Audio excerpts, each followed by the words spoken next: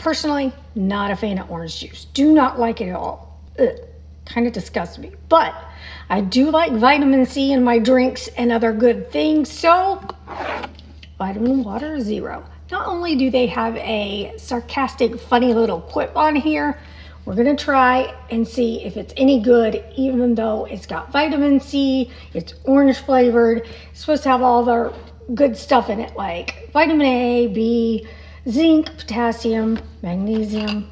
Let's see if it's better than orange juice, because I sure hope so. And zero calories. Nothing to drink, but good stuff. That is good. It's tasty.